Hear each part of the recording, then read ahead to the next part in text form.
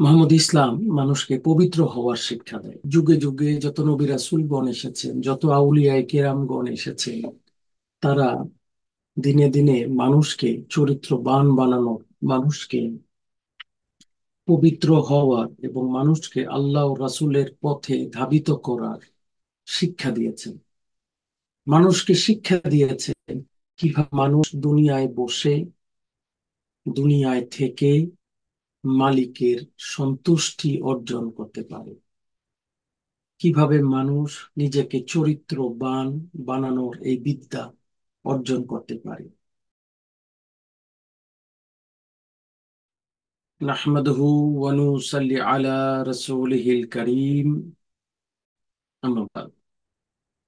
সর্বপ্রথম আমি আমার মহান মোর্শেদ, দিন দুনিয়ার কোহিনূর মোহাম্মদ ইসলামের পুনর্জীবন দানকারী, যুগের ইমাম, আম্বিয়া কেরামের ধর্মের দায়িত্ব ও বেলায়েত লাভকারী।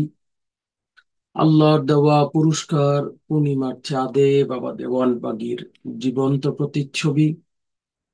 সুফি হজরত শাহ দেওয়ানবাগি রহমাতুল্লাহের নুরানিময় কদম মোবারকে শতকোটি সালাম ও কদম বচি জানাই। সালাম ও কদম বচি জানাই, কুতুবুল আক্তাব দুর্রে মাকনুন, খাতুনে জান্নাত, দয়াল মা রহমাতুল্লাহ আলাইহা নুরানিময় কদম মোবারকে। উপস্থিত। দেশ এবং বিদেশ থেকে আমাদের সাথে সংযুক্ত আশেকের রাসূল আপনারা সকলেই আমার সালাম গ্রহণ করুন। আসসালামু আলাইকুম ওয়া রাহমাতুল্লাহি ওয়া বারাকাতুহু। আলহামদুলিল্লাহি রাব্বিল আলামিন, মহান মালিকের অপার দয়ার বদৌলতে প্রতি বছর, প্রতি সপ্তাহের ন্যায় জুমার দিনে এই সপ্তাহেও আমরা একত্রিত হওয়ার সুযোগ পেয়েছি, মিলাদ শরীফ পাঠ করেছি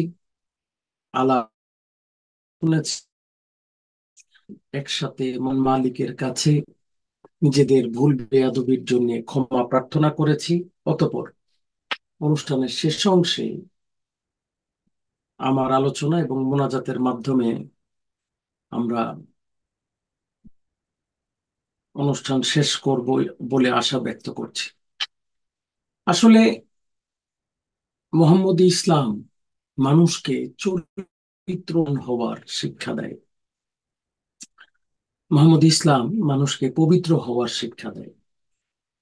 যুগে যুগে যুগে যুগে যত নবী রাসূলগণ এসেছেন, যত আউলিয়ায়ে কেরামগণ এসেছেন, তারা দিনে দিনে মানুষকে, চরিত্রবান বানানোর মানুষকে পবিত্র হওয়ার এবং মানুষকে আল্লাহ রাসুলের পথে ধাবিত করার শিক্ষা দিয়েছেন।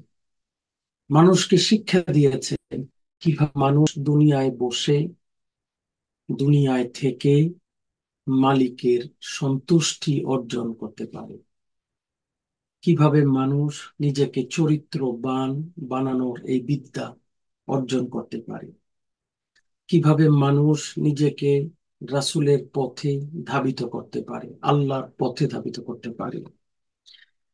বিভিন্ন যুগেই নবী রাসূলগণ এসেছেন মানুষকে আল্লাহর বার্তা দিতে এবং তাকে ঠিক চরিত্রে রাখতে। একইভাবে নবুয়তের ধারা শেষ হওয়ার পরে বেলায়েতের ধারা যখন চালু হয়, বেলায়েতের ধারাতেও মহান রাব্বুল আলামিন তার বন্ধু বলি বন্ধুদেরকে পাঠিয়েছেন যাতে তার বলি বন্ধুরা এই জগতে আসেন এবং মানুষকে সেই আল্লাহর সন্তুষ্টির শিক্ষা দেন। আল্লাহ ও রাসূলের এই সন্তুষ্টির পথ পর্যক্ষে দিন রাত অলি আল্লাহগণ, নবী রাসূলগণ পরিশ্রম করেছেন, করছেন যাতে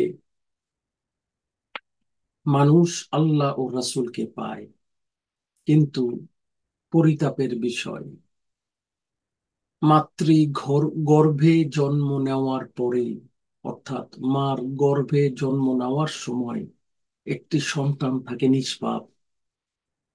ভূমিষ্ঠ হওয়ার নিষ্পাপ সন্তান জন্ম নেয়। সে পাপ করেনি পাপ বোঝে না পাপ জানে না। অন্যায় করেনি অন্যায় বোঝে না অন্যায় জানে না। অত্যাচার করেনি জুলুম করেনি। জুলুম কি অন্যায় কি অত্যাচার কি তিনি বোঝে না। কিন্তু বাচ্চা যখন আস্তে আস্তে আস্তে আস্তে আস্তে আস্তে বড় হতে থাকে মা বাবার সাথে একটি মিথ্যা কথা বলল। অথবা ভাই বোন একে অপরের সাথে মিথ্যা কথা বলল, সন্তান শিখে গেল। এই যে পাপ শুরু, অন্যায় শুরু। সেই অন্যায়ের জার্নিটা আস্তে আস্তে আস্তে আস্তে ছোট ছোট ছোট ছোট অন্যায় থেকে শুরু হয়। তারপরে দেখবেন সেই ছোট্ট শিশু একটি দুষ্টামি করল। আপনি জিজ্ঞেস করেন কিছুদিন পরে, সে যখন কথা বলা শিখলো, এই কাজটা কে করছে? সে বলবে, আমি করিনি অথচ কাজটা সে করেছে। এই যে দেখেন, সে মিথ্যা কথা বলা লার্ন করে গেল, শিখে গেল। এখন সে নিজের অন্যায়কে ঢাকা শুরু করল। আস্তে আস্তে আস্তে আস্তে আস্তে আস্তে দুনিয়ায় মানুষের সাথে মিশতে মিশতে অন্যায়ের রাস্তা চিনে, অপরাধের রাস্তা চিনে। অন্যায় করা বোঝে, অপরাধ করা বোঝে, রাগ করা বোঝে, ঠান্ডা হওয়া বোঝে, সব আস্তে আস্তে বুঝতে থাকে। আল্লাহ নিষ্পাপ শিশু হিসেবে মাতৃ গর্ভে দেওয়ার পরে তিনি মানুষকে স্বাধীনতা দান করেন। তুমি চাইলে তোমার সিদ্ধান্ত তুমি নিতে পারবা। তোমাকে নিষ্পাপ হিসেবে জন্ম দিলাম। তোমাকে একেবারে নিষ্পাপ হিসেবে পৃথিবীতে পাঠালাম। কিন্তু তোমার মৃত্যু যখন হবে, তুমি কতটা পাপ সম্পূর্ণ হও, তার বিচার আমরা করব, আল্লাহ করবেন। সেই অঙ্গার দিয়ে আমাদেরকে জগতের বুকে প্রেরণ করেন। যাতে আমরা এই দুনিয়ায় এসে আমরা সেই নিষ্পাপ অবস্থানটাকে ধরে রাখতে পারি। কিন্তু পরিতাপের বিষয়, আসলে তো আমরা তা পারি না। জেনে হোক, না জেনে হোক, বুঝে হোক, না বুঝে হোক, আমরা অন্যায়, অবিচার, অত্যাচার এর সাথে দিনে দিনে জড়াই। জড়ানোর পর আমরা একটা সার্টেন সময়ের পরে ভুলে যাই। বা মনে করতে পারি না বা মনে করতে চাই না যে আমায়, আমি আল্লাহর কাছ থেকে এসেছি, আবার আমাকে আল্লাহর কাছে ফেরত যাইতে হবে। ইয়াং টিনেজ বয়সে আমাদের এটা মনেই থাকে না। আস্তে আস্তে যখন বয়স হতে থাকে, তখন মনের মধ্যে দানা কাটে এই মরার টাইম আসতেছে, যাওয়ার টাইম আসতেছে। হ্যাঁ? যখন দাড়ি পাক ধরে চুল পাকে, তখন একটু একটু মনে পড়তে থাকে হাই রে, আমার তো যাওয়ার সময় আসতেছে। কখন না আমি চলে যাই? কখন না আমার ডাক চলে আসে? কিছু কিছু মানুষ তো অ্যাটলিস্ট শেষ সময় হলেও বা বয়সের শেষ ভাগে এসেও নিজেকে পরিবর্তিত করার চেষ্টা করে।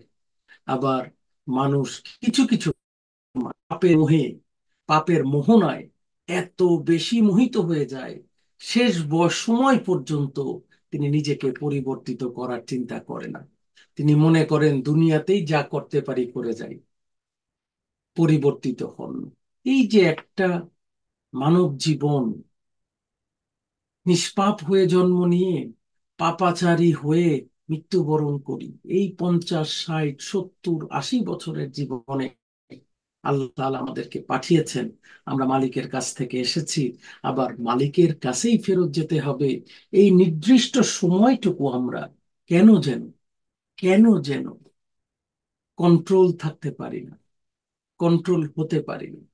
নিজে অন্যায় করি, এক হলো নিজের পাপ, দুই অপরের সাথে জুলুম করি, সেটা তো আরও বড় পাপ নাকি? অপরকে ক্ষতি করি, অপরকে লাঞ্ছনা করি, অপরকে বঞ্চনা দেই, সেটা তো আরও কঠিন। নিজে সাজা তো নিতেই হবে। অপরের সাথে যা ঘটাইলাম, তার সাথেও তো নিজেকে নিতে হবে। কেন যেন আমরা দিন মানে বারবার প্রতিনিয়ত এই অংশটা ভুলে যাই যে মালিকের কাছ থেকে এসেছি, আবার মালিকের কাছেই ফেরত যাব। এই জন্যে আল্লাহ তালা জানেন, তিনি আমাদেরকে চিনেন না বলেন, আল্লাহ আমাদেরকে চিনে না চিনেন? চিনেন তো। তিনি জানেন আমরা ভুলে যাব।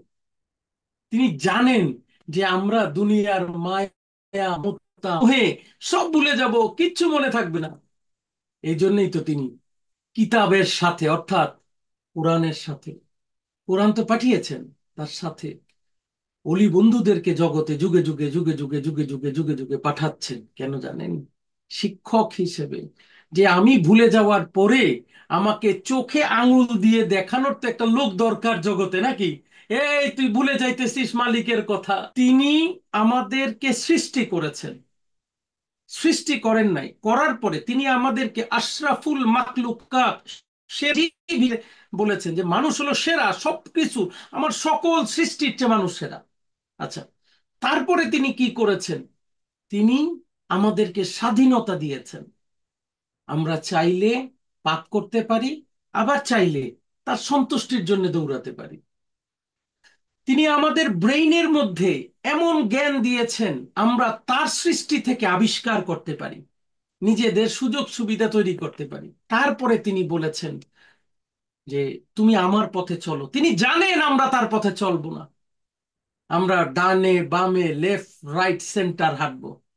সেই জন্য তিনি আমাদেরকে আবার তার ওলি বন্ধুদেরকে পাঠিয়েছেন, যাতে তিনি আমাদেরকে গাইড করেন, ওলি বন্ধু আমাদেরকে গাইড করেন। যেই পথে চললে আল্লাহ খুশি হবেন, যেই পথে চললে রাসুল খুশি হবেন সেই গাইড যাতে করতে পারেন। তারপরেও আমরা পাপ করি। তারপরে ওই পৃথিবীতে এমন মানুষ আছে যারা পাপ করতে করতে করতে করতে করতে করতে তারাও জানে না কত দূর পাপ তারা করেছে। জানে না। আপনি, আমি একটি অপরাধ করে ভাবি যে আমি তো অনেক বড় পাপি। আপনি, আমি কিছু অপরাধ করে ভাবি, আমি অনেক বড় পাপি। বিশ্বাস করেন, আপনার আমার চেয়ে বড় পাপি আছে। তারপরও আল্লাহ দেখেন, তাদের জন্য অক্সিজেন বন্ধ করে দেন নাই। দিছেন নাকি বলেন? দিছেন? যারা আল্লাহকে ইদেন মানে না, নাস্তিক, আল্লাহ দেখেন, তাদেরকেও বাঁচায় রাখছেন। তাদেরকেও খাওয়াচ্ছেন, তাদেরকেও পড়াচ্ছেন। কেন বলেন? কারণ তিনি আমাদেরকে ভালোবাসেন। তিনি তার মহাব্বত এসকে আমাদেরকে তৈরি করেছেন, পরিবর্তিত হওয়ার সুযোগ দিয়েছেন যে কখন আমার বান্দা আমাকে ডাকবে, শেষ পর্যন্ত দেখতে চাই আমার কোন বান্দা আমাকে ডাকে, তার কৃতকর্মের জন্য তিনি ক্ষমা চায়। কে আমাকে বলে, তুমি আমাকে ক্ষমা করে দাও। কে আমার কাছে নিজের মনের যন্ত্রণার কথা বলবে? কে আমাকে বলবে আমি আমার জন্য তোমার কাছে ক্ষমা চাই? কে আমাকে বলবে আমি জুলুমের জন্য ক্ষমা চাই? কে আমাকে বলবে আমি অন্যায়ের জন্য ক্ষমা চাই? কে আমাকে বলবে আমি নিজের অপরাধের জন্য ক্ষমা চাই? কে আমাকে বলবে আমি আমার জীবনের সকল ভুল বেয়াদবের জন্য ক্ষমা চাই। আমি আল্লাহ বসে আছি তাদেরকে ক্ষমা করার জন্য। এই জন্যই তো বলেন, বান্দা এক পা দিয়ে আসলে আল্লাহ দশ পায় বান্দা এক পা গেলে আল্লাহ দশ পায়ে গিয়ে আসে তার দিকে।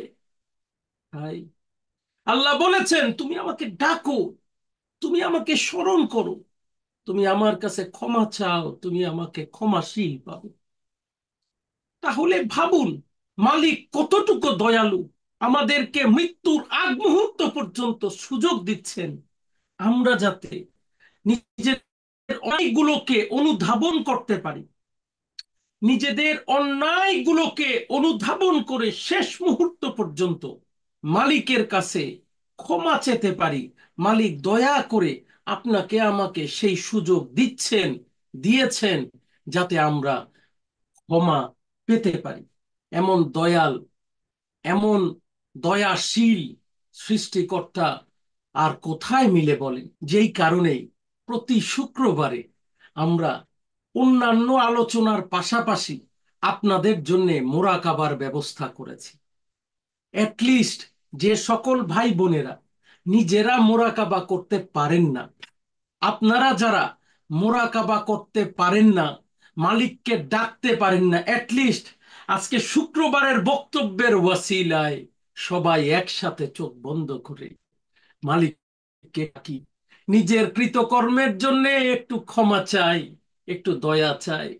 ইবাদতের মূল লক্ষ্য মালিকের সন্তুষ্টি অর্জন। মোরাকাবা এমন একখানা ইবাদত, মোরাকাবা এমন একখানা আমল যাতে নিজের মনের মাধুরী মিশিয়ে মালিককে ডাকা যায়। নামাজের নিয়ম কানুন আছে। নামাজে দাঁড়িয়ে এইটা পড়তে হবে, ওইটা পড়তে হবে, এইটা করতে হবে, ওইটা হবে। নানাবিধ নিয়ম আছে। কিন্তু জানেন, মোরাকাবায় কোনো নিয়ম নাই। ইভেন রোজার মধ্যেও নিয়ম আছে। এইটা করতে হবে, ওইটা করতে হবে, না খেয়ে থাকতে হবে, পানাহার থেকে বিরত থাকতে হবে। হ্যাঁ? নিয়ম কানুন আছে। মোরাকাবার মধ্যে কোনো নিয়মের বিধান নাই। অজুও দরকার হবে না। কোন আমলের মধ্যে, সকল আমলের মধ্যেই কম আর বেশি নিয়ম আছে। মোরাকাবার মধ্যে নিয়ম হইলে একটাই, কে ডাকো? অন্তরের অন্তঃস্থল থেকে ডাকো। মালিকের কাছে নিজের জন্য ক্ষমা চাও। তাকে স্মরণ করো। ভুল তাকে স্মরণ করে তার কদম মোবারকে নিজেকে ভিক্ষুক হিসাবে প্রেরণ করো। এই তো মোরাকাব। যে বাংলায় পারবেন, সে বাংলায় ডাকবেন। যে যেই ভাষায়, সেই ভাষায় ডাকেন, মালিক তার ডাকি শুনবে। কোন নিয়মের দরকার হয় বান্দা তার মালিককে ডাকবে, বান্দা তার সৃষ্টিকর্তাকে ডাকবে। তার জন্য কোনো নিয়মের প্রয়োজন হয় না। এই জন্যে মোরাকাবা যে কোনো জায়গায় বসে করা যায়। বাসে বসে করা যায়। গাড়িতে বসে করা যায়, নদীতে বসে করা যায়, কাজে বসে করা যায়, ঘুমাইতে গিয়ে করা যায়। অনেকে বলেন মোরাকাবা করতে ঘুমাই গেছি। অনেকে আমার কাছে নালিশ করেন, আলহামদুলিল্লাহ, মোরাকাবা করতে করতে ঘুমায় যান ঘুমো মোরাকাবার অংশ হয়ে যায়। কোনো অসুবিধা নাই। অনেকে বলেন, আমি তো মোরাকাবা করার টাইম পাই না। আপনার জীবনটাই তো টাইম আর টাইম ভাবেন না। আজকে বাসে করে বা গাড়িতে করে অফিসে যাইতেছেন, এই যে একটা টাইম পাইলেন, মোবাইলটা না টিপে একটু চোখ বন্ধ করে মালিককে ডাকেন পাঁচ মিনিট, দশ মিনিট, যতটুকু সময় পান। জোরে জোরেই যে পড়তে হবে, ইয়া আল্লাহ, ইয়া রহমান, ইয়া রাহিম, গুনার বোঝা মাথায় নিয়ে ডাকতেছি না। মনে মনেও পড়া যদি এইটাও না পড়তে পারেন, কোনো অসুবিধা নাই। যতটুকু মনে বলতে পারেন, আল্লাহ জানেন তিনি দয়ালু, তিনি অবগত। আপনার আমার সম্পর্কে, আমার অবস্থান সম্পর্কে, যে আমি এখন ইয়া আল্লাহ পড়তে পারছি না। অসুবিধা নাই। লাগবে না ইয়া আল্লাহ। বলেন না, আল্লাহ তুমি আমারে মাফ করে দাও। আমার জীবনের ভুল বেয়াদবি গুলোকে মাফ করে দাও। আমাকে ক্ষমা করে দাও। আমাকে দয়া করো। আমার মুসিবত গুলোকে দূর করে দাও। আমার সামর্থ্যকে, আমার যা সামর্থ্য নাই, যা আমি চাই তা দয়া করে আমাকে ব্যবস্থা করে দাও। তোমার ইচ্ছায় আমাকে পরিচালিত করে। এই তো কথা। আপনার মনের কথাই আপনি বলেন। যদি কোনো কিছু মালিকের কাছে বান্দা তার মালিকের কাছে চাইবে, মালিকের সাথে কথা বলবে, মালিকের সাথে যোগাযোগ করবে, এটাই মোরাকাবা সেইটার জন্য কোথাও বসতে হবে, কোথাও ডাকতে হবে, কাউকে স্মরণ করতে হবে। এটার জন্য প্রিপারেশন লাগবে। সঠিক নয়। যে কোনো জায়গায় মোরাকাবা করা সম্ভব। মাঝে নামাজরত অবস্থায় মোরাকাবা শুরু করি। নামাজের ভিতরে মোরাকাবা করি। ক্ষমা চাই। কারণ আমি গোলাম। আমি আমার মালিককে যতটুকু চিনেছি, যতটুকু বুঝেছি, বিশ্বাস করেন, আমি মালিককে দেখেছি অনেক দয়াশীল, অনেক ক্ষমাশীল। আপনি যদি ডাকতে পারেন, মালিক আপনাকে ক্ষমা করবে। আমি বিশ্বাস করি, মালিক আপনাকে ক্ষমা করবে। তাই, যদি আল্লাহকে পেতে হয়, আল্লাহকে পেতে চান, যেই পথে চললে মালিক সন্তুষ্ট হন, সেই পথ আমাদেরকে বাঁচতে হবেই। ভাইরা আমার, বোনেরা আমার কারও বছর। কারও বয়স চল্লিশ বছর। কারও বয়স পঞ্চাশ বছর। কেউ ষাট বছর বয়সে মানুষ। আমরা জানি না কোন দিন আমাদের চোখটা বন্ধ হয়ে যাবে। আমরা জানি না কোন দিন স্ত্রী, সন্তান, বাবা, মা, ভাই, বোন, আত্মীয়, স্বজন ছেড়ে দুনিয়ার মায়া ছেড়ে কোন দিন আমরা চলে যাব আমরা জানি না। আমরা জানি না, আজ যে স্ত্রীকে বুকে জড়িয়ে ধরলাম, আজ যেই সন্তানকে বুকে জড়িয়ে ধরলাম, কালকে সেই স্ত্রী সন্তানই কান্নায় ভেঙে পড়বে আর আমাকে খাটে চড়িয়ে আস্তে আস্তে, ইয়া রসুল আল্লাহ ইয়া হাবিব আল্লাহ বলে অন্ধকার কবরে নিয়ে শুয়ে দিবে। আমরা জানি না কোনদিন আমাদের মধ্যে এই অবস্থা তৈরি হবে। কেউ হয়তো মনে করছেন, আমার হাতে অনেক সময় আছে।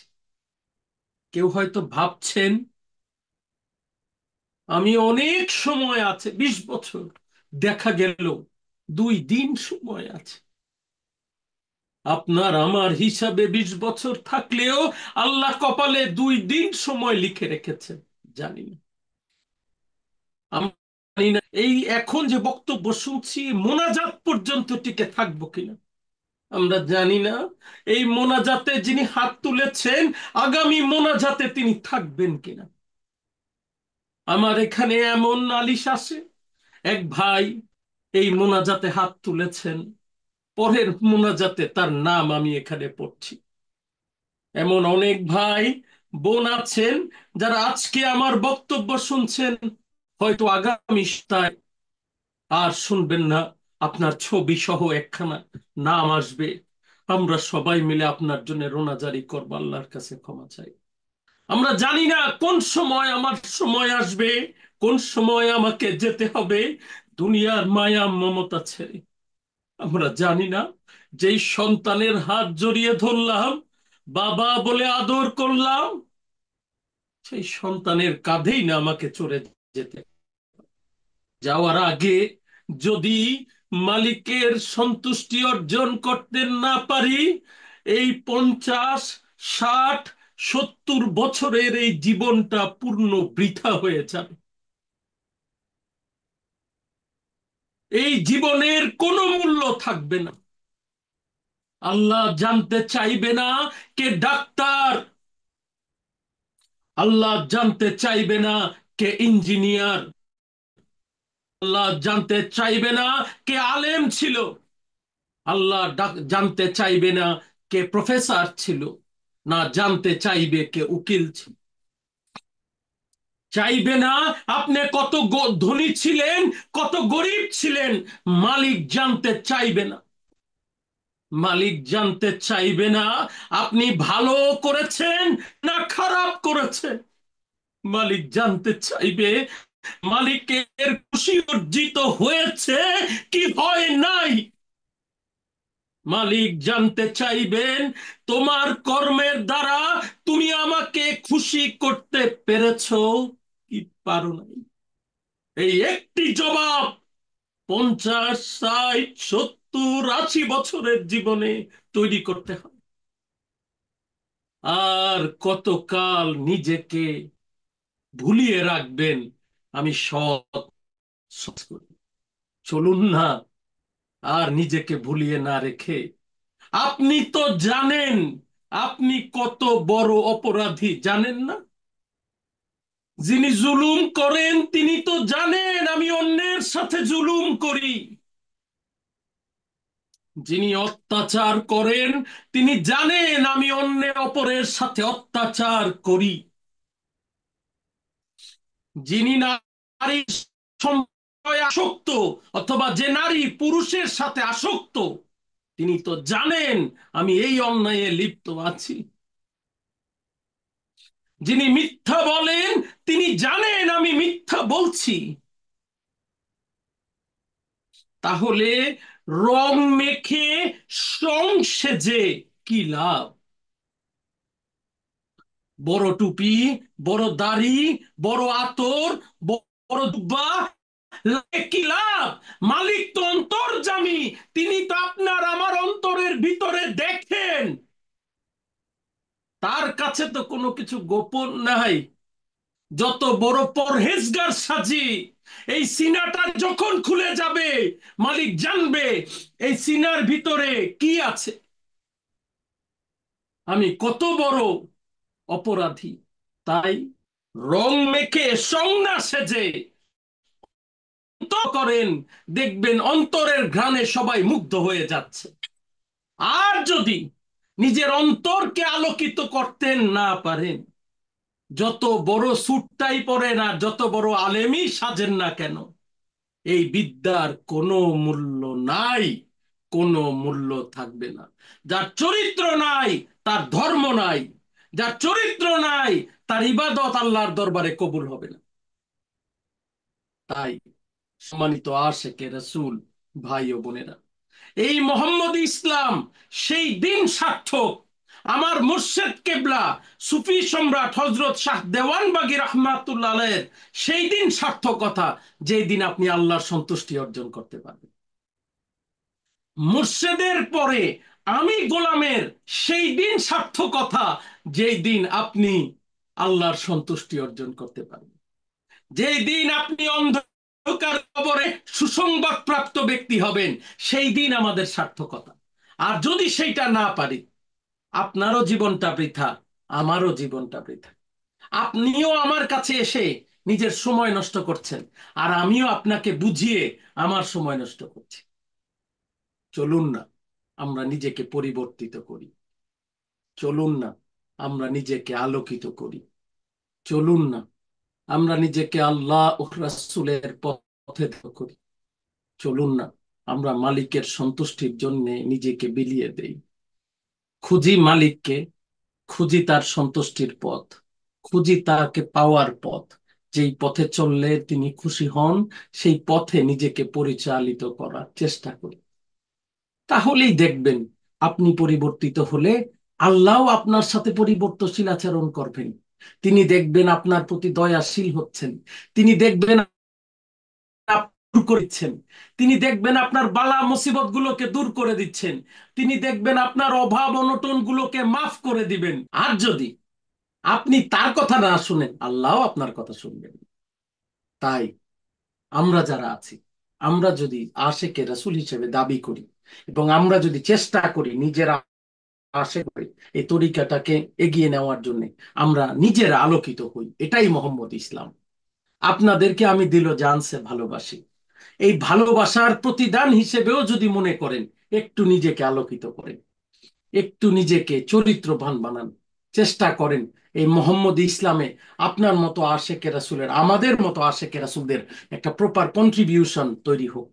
মোহান রাবুল আলমিন, তার পথে, তার ইচ্ছায় আমাদেরকে করান করুন। সবাই বলুন আমিন।